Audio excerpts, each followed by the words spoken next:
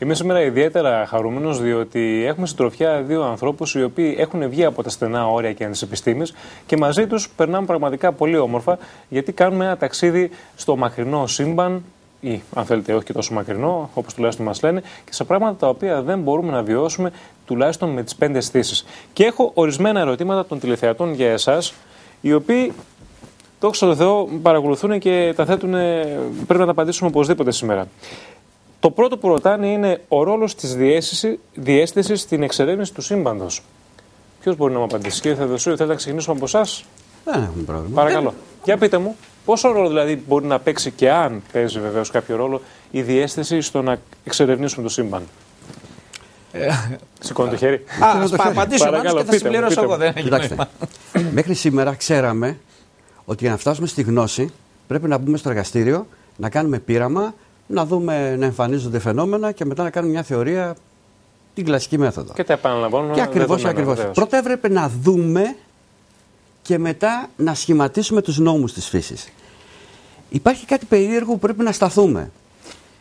Από τα τέλη του 19ου αιώνα και μετά οδηγούνται οι επιστήμονες πλέον στη μεγάλη πλειονότητά τους, δεν μιλάμε ότι δεν υπάρχουν και άλλοι επιστήμονες, εντελώς πειραματικοί, με εντελώς διαφορετικό τρόπο. Δηλαδή, πρώτα σκεφτόμαστε, οργανώνουμε τη σκέψη μας σαν αλληλουχία συλλογισμών και λέμε για να συμβεί αυτό πρέπει να συμβεί εκείνο, για να συμβεί εκείνο πρέπει να συμβεί εκείνο. Άρα λέμε θα πρέπει να υπάρχει το σωμάτιο τάδε. Με το μυαλό το έχουμε Παράδειγμα, το σωματιο του Θεού. Ακριβώς.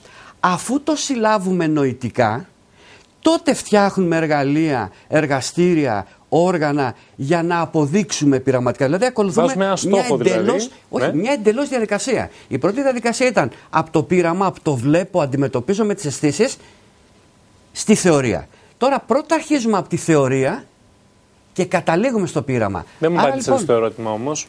Λέω τώρα. Άρα λοιπόν με έναν τρόπο που μπορεί να είναι και διαισθητικός πλέον προσεγγίζουμε την αλήθεια και όταν αυτή την διέστηση την επιστημονική την κάνουμε φορμαλισμό κτλ τότε προσπαθούμε πειραματικά να το βρούμε. Άρα εδώ πέρα η διέστηση, η επιστημονική διέστηση παίζει ένα πολύ μεγάλο ρόλο πλέον. Άρα ο επιστήμονας δεν είναι αποκλειστικά ένας άνθρωπος ο οποίος είναι κλεισμένος στο καβούκι του, είναι σε στενά όρια και μόνο με αυτά λειτουργεί. Η και μεγάλη, θα απαντήσω, έτσι είναι. μεγάλη δεν ήταν έτσι. Ο Χάιζεμπερκ, ο Μπορ, ο Αϊνστάιν, όλοι αυτοί είχαν και αυτή την επιστημονική διέστηση της αλήθειας. Μιλάει για τους μεγάλους θα πρέπει κάποτε να γίνουμε λίγο μεγάλοι όλοι μας και να αναπτύξουμε την επιστημονική ή άλλου είδους διέστηση, κοινωνική θεολογική κτλ.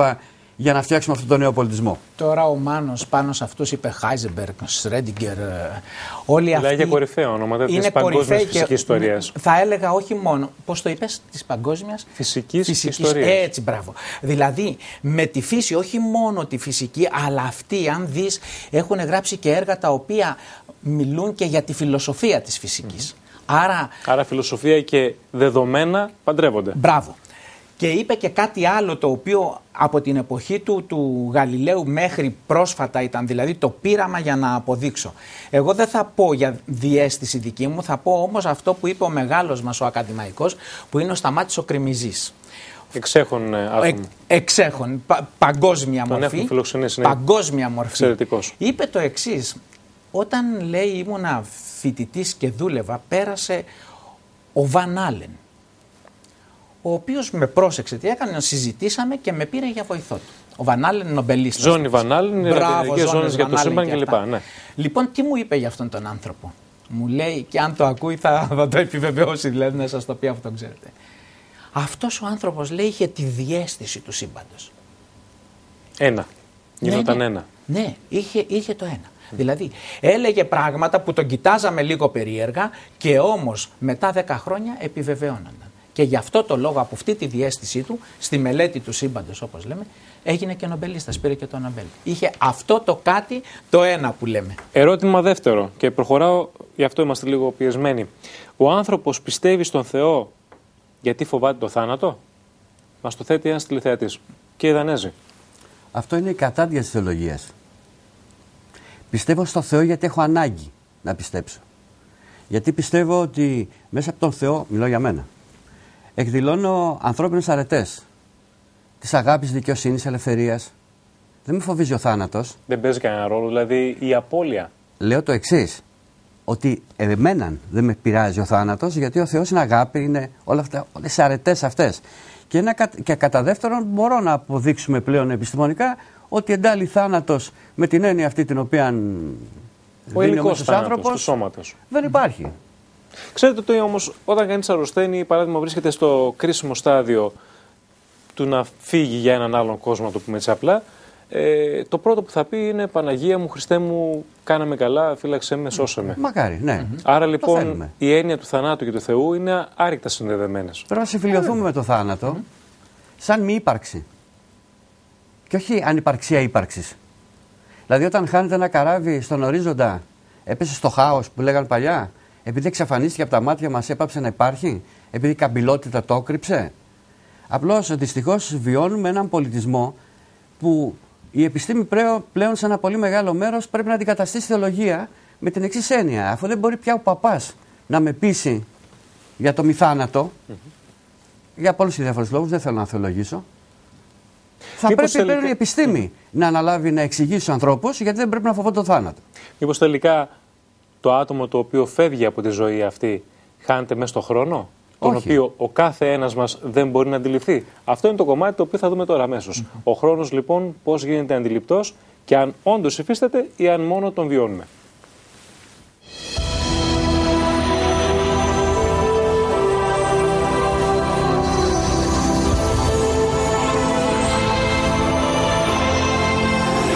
Η αλήθεια του συμπαντικού χώρου είναι ότι ο χώρος και ο χρόνος στενά συνδεδεμένα και ζευγαρωμένα μας δίνουν μια καινούρια ουσία η οποία λέγεται χωροχρονικό συνεχές.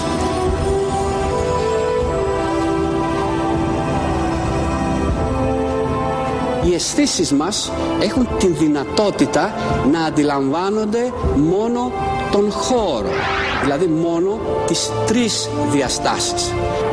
Το μήκος, το πλάτος και το ύψος. Αυτές τις τρεις διαστάσεις τις αντιλαμβάνονται αμέσως, μέσω των αισθήσεών μας. Τον χρόνο δεν έχουν τη δυνατότητα να τον αντιληφθούν οι αισθήσεις μας λόγω της βιολογίας μας. Τι κάνουμε το χρόνο; Αντιλαμβανόμαστε την προβολή μόνο του χρόνου, το καθρέφτισμά του πάνω στο χώρο των τριών διαστάσεων που έχουμε την δυνατότητα να αντιληφθούμε μέσα των αισθησιών μας. Άρα, ο χρόνος, επειδή δεν γίνεται αμέσως αντιληπτός, μόνο βιώνεται. Υπάρχει κουλουριασμένος, συμπαγοποιημένος, όπως λέμε, μέσα σε κάθε μια από τις τρεις διαστάσεις που αντιλαμβανόμαστε.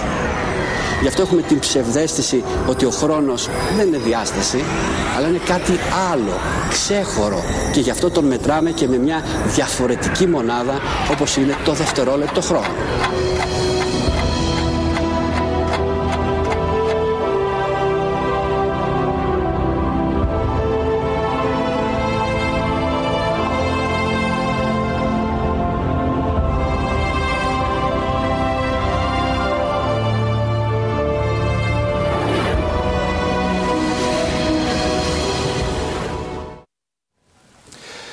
Ξέρετε τι μου κάνει εντύπωση, ότι ενώ μιλούσατε για θέματα τα οποία ήταν ε, δύσκολα να τα κατανοήσει κανείς να τα διάβαζε μέσα από ένα βιβλίο, εσείς είχατε το χάρισμα, τη δυνατότητα να τα εκλαϊκεύετε. Μιλάτε δηλαδή για έναν χρόνο, λέτε για τον χρόνο που γίνεται αντιληπτός, επειδή είναι μια αντανάκλαση των όσων εμείς βιώνουμε. ε, δεν είναι πολύ εύκολο αυτό. Αν κανείς αρχίσει να διαβάζει βιβλία. Νομίζω ότι λέτε ακριβώς αυτό το οποίο είπα προηγουμένως. Δηλαδή, πολλά πράγματα τα, τα είχαμε συζητήσει πολλές και... ζυμώσει. Ε, μπράβο. Και, και βγήκε ένα αποτέλεσμα το οποίο ε, είναι εύκολο στον άλλον όταν το ακούει, αλλά ο χρόνος, να ξέρετε και για την αστρονομία, είναι ένα από τα πολύ δύσκολα κεφάλαια της. Σαφώς. Άρα μπορούμε να ταξιδέψουμε στον χρόνο, διότι είναι ένα, θα μπορούσε να πει κανείς ε, μόνιμο ερώτημα. Υπάρχει δυνατότητα να, να, να περάσει κανείς από μια διάσταση όπως είναι η τρίτη διάσταση του, του χώρου χρόνου. Τα λέω καλά; Στην τέταρτη διάσταση και βεβαίως χρειάζεται ενέργεια. Τι ενέργεια μπορεί να είναι αυτή; Κοιτάξτε. μην μπλέκουμε τον χρόνο των ρολογιών και των ημερολογίων μας. Τον χρόνο, Δηλαδή, τον το γυράσκουμε βιολο- Μα κύριε ακριβώς, Δανέζη. δύο λεπτάκια. Είμαστε μωρά και καταλήγουμε Ναι, πάλι στα... Δύο λεπτάκια. Δύο λεπτά. Ο χρόνος λοιπόν των ρολογιών και των ημερολογίων μας, αυτό που βιώνουμε ως ζωή του ανθρώπου, ως κύκλο της ζωής του ανθρώπου, δεν έχει κανένα, τίποτα να κάνει με αυτό που λέμε τετάρτη διάσταση. Αυτός ο χρόνος των ρολογιών και των ημερολογίων μας απλώς μετράει αυτό που λέγεται διάσταση. Με άμεσο Ένα αποτέλεσμα. σημείο αναφοράς. Μ- α, με άμεσο αποτέλεσμα. Στην διάσταση χρόνος μπορείς να πας μπρος και πίσω. Αυτό δεν σημαίνει ότι η βιολογία σου θα παλινδρομεί μεταξύ νεότητος και γύρατος. Αλλά μπορούμε να ταξιδέψουμε πράγματι μέσα στον Στην- χρόνο. Αυξ- Όταν, κοιτάξτε να τι γίνεται. Αυτό το οποίο λέει η θεωρία σχετικότητα σήμερα είναι το εξής. Ότι αυτό το οποίο θεωρούμε σαν ύλη δεν είναι τίποτα άλλο. Από μια Συμπυκνωμένη. καμπύλωση του χώρου προς την τέταρτη διάσταση. Όταν αυξάνεται αυτό το πηγάδι κατά κάποιο τρόπο που έχει βάθος στο χρόνο, Ναι. τότε οι ανθρώπινες αισθήσεις αντιλαμβάνονται την αυξομοίωση αυτού του πηγαδιού σαν αύξηση ή ελάττωση της πυκνότητας του υλικού του.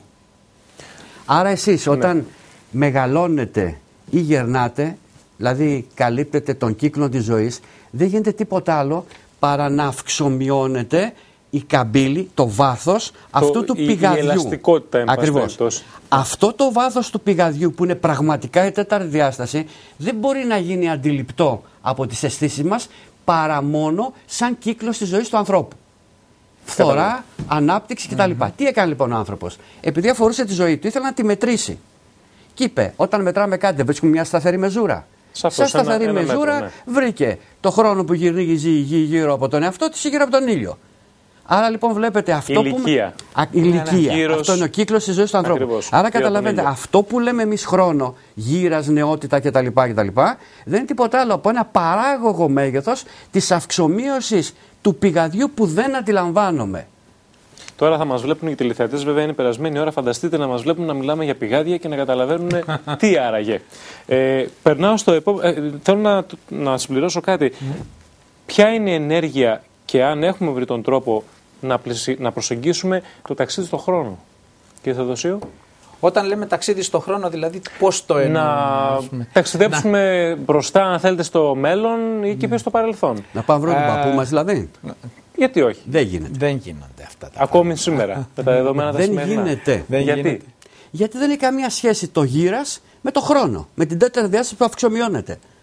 Μα ταξιδεύουμε στο παρελθόν. Δεν αλλάζει η δική μας η Δεν υπάρχει Όχι, όχι, όποτε- αυτά, αυτά δεν γίνονται. Δεν γίνονται. Δηλαδή δεν μπορείς να. Αν είχαμε να χρόνο, γυρίσεις είναι πολύ ούτε- αφ- απλό να το συζητήσουμε. Δηλαδή, είναι ένα δεκάλεπτο, ένα τετάρτο σε μια διάλεξη. Στον τε- τηλεοπτικό τετάρτο. χρόνο που Το καλύτερα ξέρω, είναι γνωρίζετε, το τεράστιος. δεκάλεπτο είναι. Μα γι' αυτό δεν μιλάω απαγορευτικό. καθόλου. Ναι, ναι. Μ, Δεν θέλω όμως να μπερδεύουμε συνέχεια τους τηλεθεατές. Να, πούμε, να το τονίσουμε αυτό ότι Πείτε μου, ναι. ε, το ρολόι και το ημερολόγιο είναι πάρα πολύ χρήσιμο και είναι ο χρόνος τον οποίο βιώνουμε. Τον βιώνουμε, τον χρόνο, τον ζουμε δηλαδή. Το, Αλλά δεν είναι ο πραγματικός χρόνος. δεν είναι ο πραγματικός χρόνος, είναι πέστε το προβολή του, πέστε το φθορά, είναι όμως φθορά. Και τη ζούμε δηλαδή αυτή τη φθορά. Και όταν, όταν λέει ότι 6 ώρα έχουμε ραντεβού πρέπει να πας σε 6 ώρα και όταν λέει πρώτη του μηνός πρέπει να πληρώσεις τον νίκη πρέπει να το πληρώσεις. Υπάρχουν Δύσκολα τέσσερις πράγματα. εκπομπές που οι τηλεθεατές μας μπορούν να δουν από τον κύκλο Το Σύμπαν Παγάψε που διατίθεται σε όλο το Στο ίντερνετ διαδίκτυο, μέσα ναι. κτλ. Οπότε θα καταλάβουν πάρα πολύ καλά τι εννοούμε. Καλώς. Λοιπόν, το επόμενο ερώτημα το οποίο θέτουν οι τηλεθεατές μας είναι το εξής. Μιλάνε για, την, για το σύνολο των πολλών ανθρώπων οι οποίοι όντας μαζί μπορούν να επηρεάσουν καταστάσεις με έναν ανεξήγητο τρόπο. Με έναν άειλο τρόπο. Όπως παράδειγμα, βλέπουμε την ομαδική προσευχή.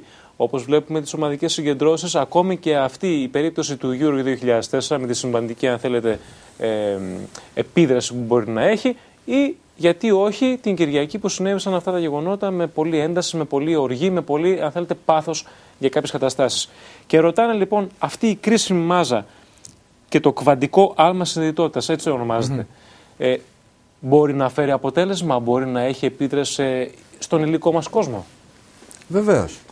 Γιατί ποιο όπως τρόπο γίνεται είπαμε, ο κόσμος μας είναι ένα μάτριξ, μια εικόνα. Την οποία εικόνα εμείς φτιάχνουμε. Είμαστε συνδεδεμένοι δηλαδή με τα πάντα. Όλα τα πάντα Ναι. είναι ένα. Το αν αντιμετωπίζουμε την διαιρετότητα των αντικειμένων, αυτό είναι μια φυσιολογική διαδικασία του εγκεφάλου μας. Εκεί έξω στο σύμπαν δεν υπάρχουν εξατομικευμένα αντικείμενα. Υπάρχει μια κοχλάζουσα θάλασσα ενεργειακή μέσα στην οποία όλα είμαστε ένα. Αυτή την θάλασσα την ενεργειακή, όταν την παίρνει ο εγκέφαλός μας μέσω των αισθήσεών μας, δημιουργεί αυτή την ατομικότητα των αντικειμένων. Εκεί έξω δεν υπάρχει ατομικότητα, δεν υπάρχει διαίρεση. Υπάρχει ενότητα στο εν. Αυτό, αν θέλετε, μπορεί να αποτελέσει και ένα αντικείμενο μελέτης, διότι ε, προφανώς τα επεισόδια της Κυριακής είχαν σκοπό να διασπάσουν την μεγάλη μάζα του κόσμου. Εγώ θα αντιστρέψω ένα συλλογισμό και θα μιλήσω υποθετικά. Αν λοιπόν όλος αυτός ο κόσμος που, που είχε συγκεντρωθεί εξέπεμπε μια συγκεκριμένη τάση, μια συγκεκριμένη, αν θέλετε, άποψη. Τι άλλαγε θα μπορούσε να φέρει όταν τα δεδομένα και όλη η Ευρώπη, που είναι πολλά περισσότερα εκατομμύρια από ό,τι η Ελλάδα, έχει μια συγκεκριμένη τακτική και μια συγκεκριμένη, αν θέλετε, στάση. Θα μπορούσε να αλλάξει κάτι, μια τέτοια κίνηση; Για να γίνει κάτι, θα πρέπει να έχουμε ενοποιήσει το πνεύμα μας, την νόησή μας. Εκεί διαφέρουμε λοιπόν. Λέτε. Εκεί διαφέρουμε. Δηλαδή δεν μπορεί να είναι ένας συρφετός αντικρουόμενων προσωπικών υλικών συμφερόντων, που αν βάλεις στη μια ομάδα έχει διαφορετικά συμφέροντα από την άλλη και θα σφαγεί. Θα πρέπει όλοι να καταλάβουμε γενικότερες αλήθειες. Και όταν οι γενικότερες αλήθειες γίνουν πραγματικότητα μέσα στο μυαλό μας, τότε αυτή η πραγματικότητα θα μετασχηματιστεί σε κάτι θετικό για τον επόμενο πολιτισμό, για τον τωρινό πολιτισμό που φτιάχνουμε. Θέλω πολύ σύντομα, επειδή ο χρόνος είναι πολύ περιορισμένος, ε, να περάσουμε στο επόμενο ε, κομμάτι που έχετε θίξει και όσο και περίεργο να ακούγεται, αφορά τους Ανουνάκη και τους Νεφελίμ. Αχα. Έρχονται και ξανάρχονται. Πάμε να το δούμε. Έχει πολύ μεγάλο ενδιαφέρον και αφορά στο 2012. Ο πλανήτης Νιμπύρου και οι εξωγήινοι έρχονται το 2012 σύμφωνα με τα σενάρια των οπαδών των προηγούμενων απόψεων. Βέβαια, το ότι έρχεται το έχουν πει πολλές φορές, αφού έχουν προβλέψει τον ερχομό του διαδοχικά το 2003 και το 2005, χωρίς αυτό να έχει συμβεί. Τώρα κατέληξαν στο συμπέρασμα ότι αυτό θα συμβεί το 2012, επειδή τότε, κατά τα σενάρια άλλων παράξενων κύκλων, θα συμβούν και άλλα καταστροφικά φαινόμενα που τελικά και αυτά έχουν τη βάση τους στον ερχομό του Νιμπύρου.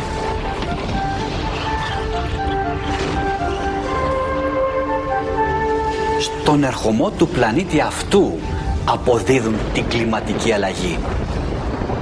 Τον φωνικό Ελνίνιο το 1993. Το λιώσιμο των πολικών πάγων. Την αύξηση της θερμοκρασίας. Την αύξηση της ηλιακής δραστηριότητας. Τις μεταβολές του μαγνητικού πεδίου της γης. Τους σεισμούς. Σύμφωνα με αυτές τις απόψεις, ο εγκληματικός για το περιβάλλον πολιτισμός μας δεν φταίει για την καταστροφή του περιβάλλοντος και ως εκ τούτου δεν θα πρέπει να σταματήσουμε με τη δράση μας κάποιους περιβαλλοντικούς εγκληματίες αφού για όλα φταίει ο Νιμπύρου. Όλοι όσοι αγωνίζονται για την προστασία του περιβάλλοντος αμέσως ή εμέσως είναι όργανα συγκάλυψης του ερχομού των εξωγήινων και αυτό από μυστικές υπηρεσίες.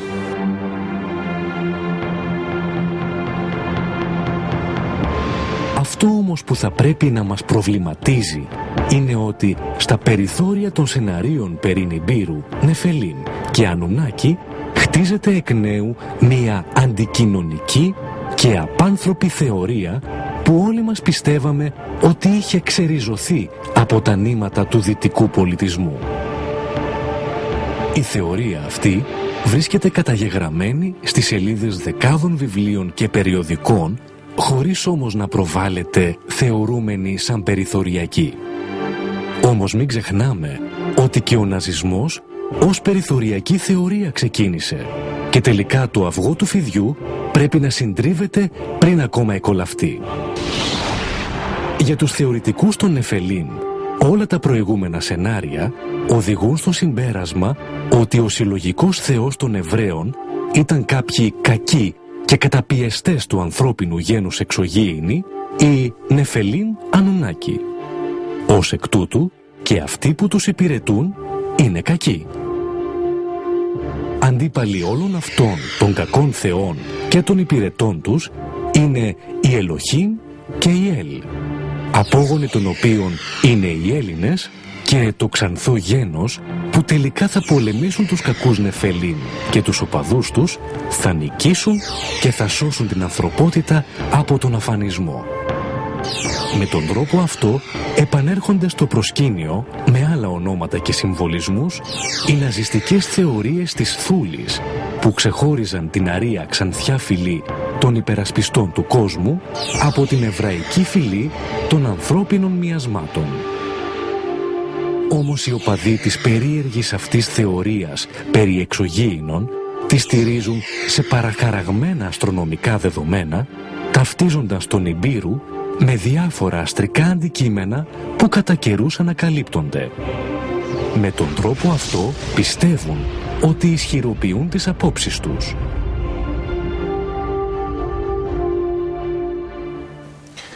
Το θέμα αυτό πραγματικά έχει πολλές έτσι, παραμέτρους και μπορεί καμιά φορά να γραφικοποιηθεί. Ε, χαίρομαι που το θίξατε στην εκπομπή σας. Το ζήτημα είναι το εξής. Νεφελίμ, Ανουνάκη, είμαστε πράγματι απόγονοι τέτοιων καταστάσεων και τέτοιων, ε, να το πω, πλασμάτων που μας εκμεταλλεύονται και μπορούν να λειτουργούν και σαν μαριονέτες κάποια στιγμή. Γιατί καμιά φορά μέχρι και την Γερμανία είδαμε να αντλεί πληροφορίες για το θέμα αυτό από τη Θούλη. Να σας πω, αυτά όλα ξεκίνησαν από ένα βιβλίο που έγραψε ο Ζαχαρίας ο Σίτσιν. Βεβαίως. Και έγραψε για τον πλανήτη ή ήλιο Νιμπύρου, ο οποίος όμως, προσέξτε, έχει περίοδο 3.600 χρόνια. Άρα λοιπόν αν κάποιος ζει εκεί, η περίοδος η δικιά μας είναι ένα έτος, ε, εκείνον είναι 3.600 χρόνια, δηλαδή κάθε περίοδο του Νιμπύρου η ανθρωπότητα κάνει άλμα 3.600 ετών. 1 προς 3.600. Έτσι, ναι. Άρα λοιπόν ήρθαν εδώ οι Νεφελίμ, η οποία ήταν η άρχουσα τάξη, κατά, κατά τη θεωρία αυτή. Κατά τη ναι. θεωρία αυτή. Και είχαν μαζί τους οι 7 αρχηγικοί Νεφελίμ, είχαν και τους ε, Ανούνακι. Άρα λοιπόν αυτοί οι Ανουνάκοι δούλευαν, να μην μπούμε σε λεπτομέρειες γιατί ναι, λίγο σύντομα, εδώ για τα πολύτιμα μέταλλα τα ήθελαν τέλος πάντων. Αυτό μου θυμίζει ε, λίγο την Ελλάδα. Ναι. Στην κατάσταση που είμαστε τώρα. Λοιπόν αυτοί έκαναν κλωνοποίηση, λέει ο Ζαχαρίας ο Σίτσιν, του, homo, του ανθρώπου, τον κάναν ναι. Homo sapiens για να τους βοηθήσει σε αυτή τη δουλειά. Και από εκεί και πέρα βέβαια, κάθε 3.600 χρόνια θα έρχεται ο Νιμπύρου και θα έρθει το 2012 και θα γίνει καταστροφή. Εγώ σας υπογράφω ότι τέτοια καταστροφή δεν πρόκειται να γίνει. Πάντως ο Νιμπύρου έρχεται, κύριε Δενέζη. Εγώ είπα στην εκπομπή, όπως και σε κάποιες συνεντεύξεις που έδωσα, ότι στην 21η Δεκεμβρίου Θέλαμε σε ένα κανάλι για να καλέσει όλο τον κόσμο να δει όλους εκείνους που τον τρομοκρατούσαν τα τελευταία 10 χρόνια.